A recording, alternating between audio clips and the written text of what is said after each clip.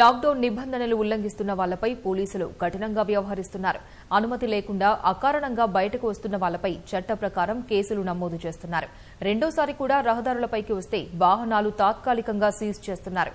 DGP ఆదేశాలతో తనిఖీ కేంద్రాల వద్ద ప్రతి ఒక్క వాహనాన్ని తనిఖీ చేస్తున్న పోలీసులు అనుమతి ఉంటేనే ముందుకు పంపిస్తున్నారు. ఈ నెల ముప్పై వరకు విధించిన లాక్డౌన్ను మరోసారి పొడిగింపునకు అవకాశం లేకుండా కఠినంగా అమలు చేయాలని సీఎం కేసీఆర్ డీజీపీ మహేందర్ రెడ్డిని ఆదేశించడంతో పోలీసులు తనిఖీ కేంద్రాల వద్ద పక్కాగా వ్యవహరిస్తున్నారు. ప్రభుత్వం మినహాయింపు ఇచ్చిన రంగాలకు చెందిన వాళ్ళను మాత్రమే అనుమతిస్తున్నారు. అత్యవసర పని మీద వచ్చే వాళ్ళను సంబంధిత ధృవపత్రాలు చూపిస్తేనే వెల్లడిస్తున్నారు. అకారణంగా బయటకు వచ్చే వాళ్ళపై మాత్రం విపత్తు నిర్వహణ చట్టం కింద కేసులు నమోదు చేస్తున్నారు. రెండోసారి కూడా వాహనాలు తీసుకుని అలాగే బయటికి వస్తే వాళ్ళ వాహనాలను తాత్కాలికంగా జప్తు చేస్తున్నారు. ఆ తర్వాత వాహన యజమానిపై ఉన్న కేసును కోర్టులో ప్రవేశపెడుతున్నారు. హైదరాబాద్ రాచకొండ సైబరాబాద్ కమిషనరేట్ల పరిధిలో దాదాపు మూడు వందల ముప్పై తనిఖీ కేంద్రాలు ఏర్పాటు చేశారు. మూడు కమిషనరేట్ల పరిధిలో కలిపి రోజు రెండు వేల వరకు వాహనాలను సీజ్ చేస్తున్నారు.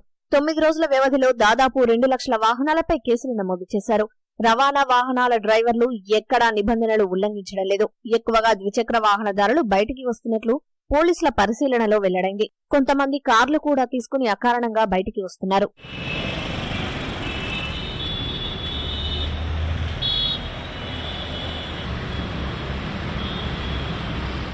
ఆసుపత్రులు మెడికల్ షాపులు ప్యాకింగ్ యూనిట్లు నిర్మాణ రంగం ప్రభుత్వ కార్యాలయాలు వ్యవసాయ సంబంధిత రంగాలకు చెందిన వాళ్ళకు ప్రభుత్వమే అనుమతి ఇచ్చింది. వీళ్ళకు ఎలాంటి ధృవపత్రాలు అవసరం లేకుండానే కేవలం గుర్తింపు కార్డును చూసి అనుమతిస్తున్నారు. దీంతో మినహాయింపు రంగాలకు చెందిన వాళ్ళు రహదారులపైకి వస్తుండటంతో వాహనాల రాకపోకలు ఎక్కువగా కనిపిస్తున్నాయి. అంతేకాకుండా అకారణంగా బయటకు వచ్చే వాళ్ళ సంఖ్య కూడా ఎక్కువగానే ఉంటుంది. గతేడాది విధించిన మొదటి లాక్డౌన్తో పోలిస్తే రెండో లాక్డౌన్లో ప్రజల నుంచి సహకారం బాగానే ఉన్నట్లు పోలీసు ఉన్నతాధికారులు చెబుతున్నారు. ఎందుకంటే రోజు రోజుకు కేసుల సంఖ్య పెరుగుతుండటంతో పాటు తెలిసిన వాళ్ళే మృతి చెందుతున్న వార్తలు తెలుసుకుని చాలా మంది ప్రజలు అకారణంగా బయటకు రావడానికి ఇష్టపడటం లేదు.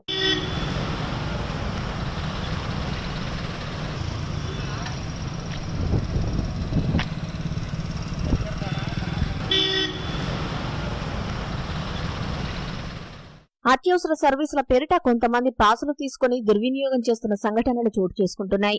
పోలీసుల తనిఖీలో ఇలాంటి విషయాలు బయటపడితే వెంటనే అనుమతి రద్దు చేయడంతో పాటు సదరు వాహనదారుడిపై కేసు నమోదు చేస్తున్నారు. మరికొంతమంది వాహనదారులు అత్యవసర సర్వీసులకు సంబంధించిన కాగితాలు పెట్టుకుని రహదారులపై తిరుగుతున్నారు.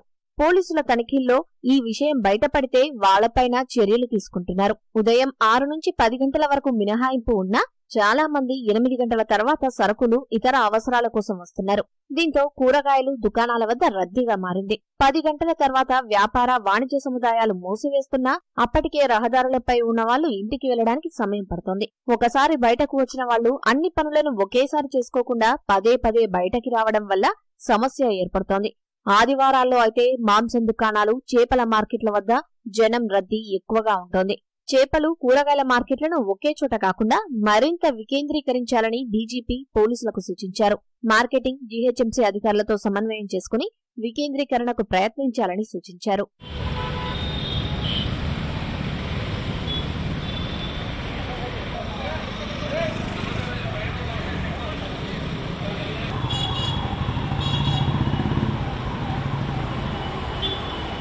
ప్రజలు కూడా బాధ్యతతో వ్యవహరించి సహకరించాలని పోలీసులు కోరుతున్నారు.